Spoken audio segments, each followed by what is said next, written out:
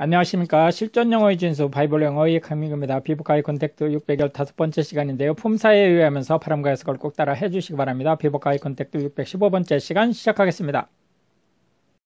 Give 15% off. Give 15% off. Give 15% off. Sounds good. Sounds good. Sounds good. Gift wrap. Gift wrap. Gift wrap. Proof of purchase. Proof of purchase. Proof of purchase. Ripped. Ripped. Ripped. Stained. Stained. Stained. Change mind.